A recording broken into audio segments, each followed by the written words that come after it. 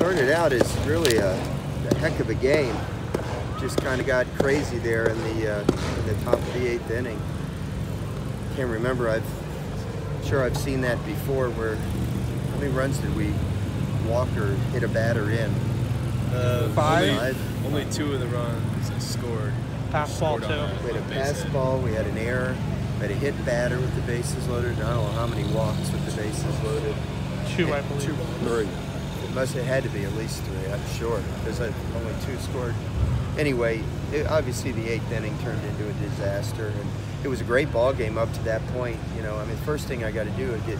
I'll give a lot of credit to their left-handed pitchers.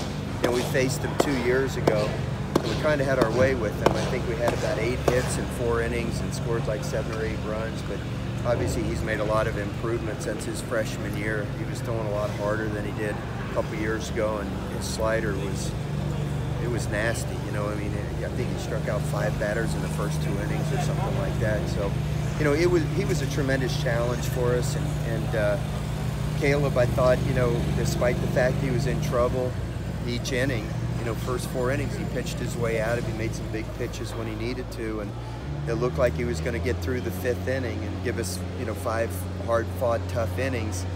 And then, you know, with two strikes, you know, Bond just went the opposite field and, and hit the home run. But still, we got a ball game. and It's two to one. We're, we're at home. You know, sooner or later that left-hander is going to get tired. I know we're going to we're going to find a way. And um, unfortunately, you know, after Fontenot gave us two great innings out of the bullpen, you know, lead off double, and you know, we, we you know tried to make some moves there to, in the hopes that we could, uh, stop it, and it just didn't work out that way. So.